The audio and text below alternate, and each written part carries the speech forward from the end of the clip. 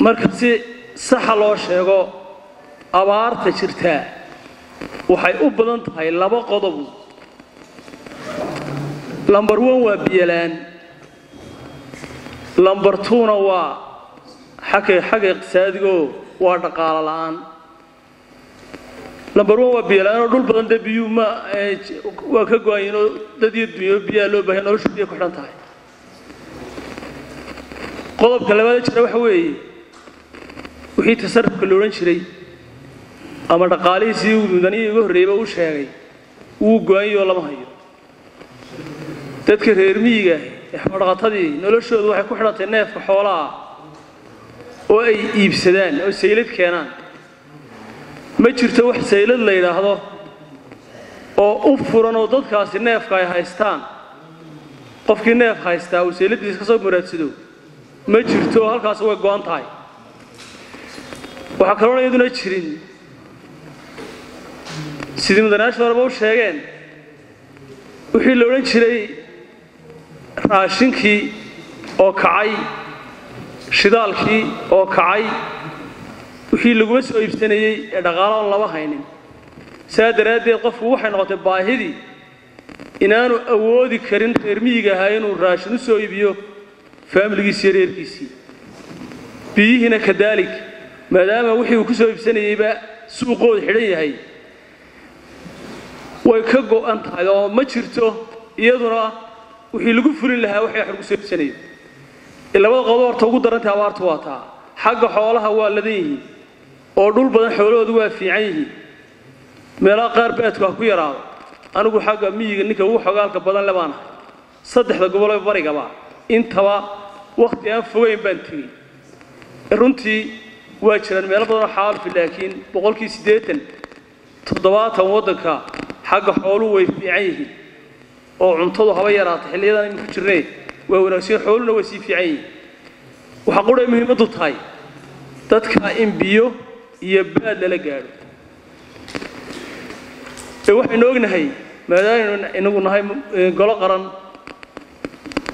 golo baarlamaan golo wakiilo oo shacabku soo doortay oo ummaddii ka wakiila lixda gobol ee somalilanba oo kuwa ugu xaq le ah inay ka warhayaan. Dadkooda soo doortay ee ay halkan u fadhiyaan noloshay ku nool yihiin iyo duruufo ay ku sugan yihiin waxa fiican qaabka iminka ay xukuumaddu u maamushay guddida abaaraha ee lagu yaqaano guddi qaran ee guddi abaarada qaran. Waxaan mudana guddoomiye soo jeedin lahaa. Goloweynaha noo soo jeedin lahaa.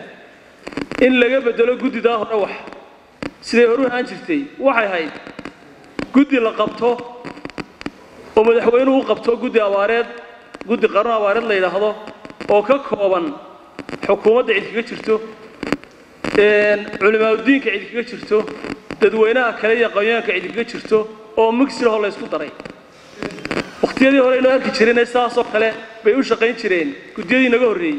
Waxaan ognay maanta xukuumaddeennan maanta uu mudane muuse biix cabdi garwadey ka yahay inay tidhi madaxweynuhu waa aniga wasiiraduna waa aniga guddida abaaruhuna waa aniga qaybiyuhuna waa aniga.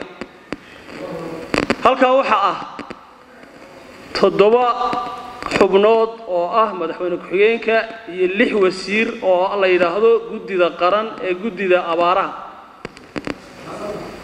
Waxaan ognahay culayska saaran wasiir wasaarad ka mas'uula oo ay tii soo dayacan tahay. Waxaan ognahay jaaniska uu ku heli karayo iyo iyo iyo waxqabadka uu ku qaban karo hawshaasi inay waqti iska kooban tahay. Waxaan ognahay qaabkii hore loo shaqayn jiray ee guddi abaaruhu shaqayn jirtay inay ka bilaabi jireen ganacsatada. Dukaamaday ka bilaabi jireen oo ganacsataday ka bilaabi jireen oo raashinleydii ka bilaabi jireen oo shidaalleydii ka bilaabi jireen cid walba way ka qaadi jireen. Wixii taakulayn iyo mucaawinaa meel bay isugu geyn jireen xukuumadday ka soo qaadi jireen hay'adahay ka soo qaadi jireen dhammaan shacabweynahay mari jireen internationalkay u tallaabi jireen.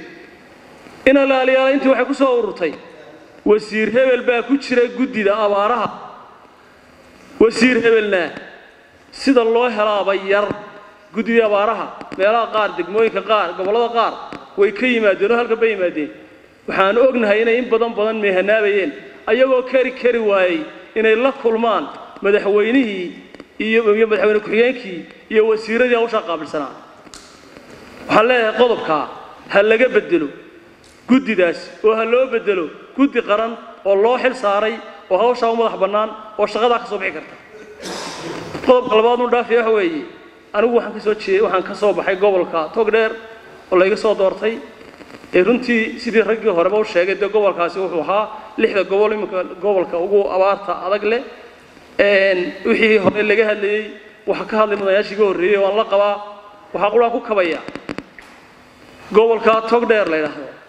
Markuu laba qaybood yahay qaybta barig qaybta galbeedka deegaamadiisa laga soo bilaabo minduruqsi ilaa dabagorayaale ilaa ina cadamay oo ah koonaan hargeysa u baale gobolka togdhe maroodjex u baaleeya ee iska soo galaan.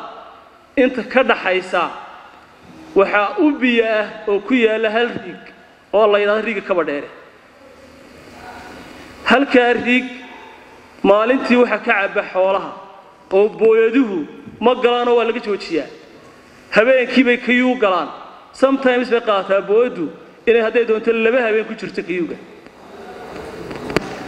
Waxaan ognahay oo aynu ka warhaynaa oo wasiirka biyuu og yahay magaalada koonfurteeda riigaga ku yaalla ay ka midka yihiin riigga khadiija foundation inuu u taagan yahay solar. oo haddii la kiciyo uu ka furan lahaa baahida jirta.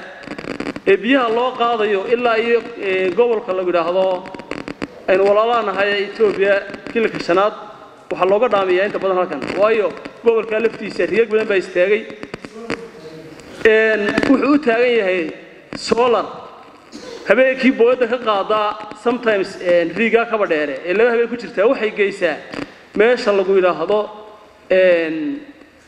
etoobiya kilanka shanaad baalisa la yidhaahdo maxay ahayd? Ceel baxay bahash maxay ahayd? Meeshii loo jiray riyo iyo soonaheeda baahida intaa leeg ee jirta ee haysata dadka inuu riiggaasi u taagnaado solar lagu xidho oo aynu garana qiimaheeda. Runtii waxaan leenahay waa howlgudasho la'aan iyo karti xumo sidaa daraaddeed wakhtiga waan soo koobayaa waxaan leeyahay aad iyo aad ba u mahadsan tihiin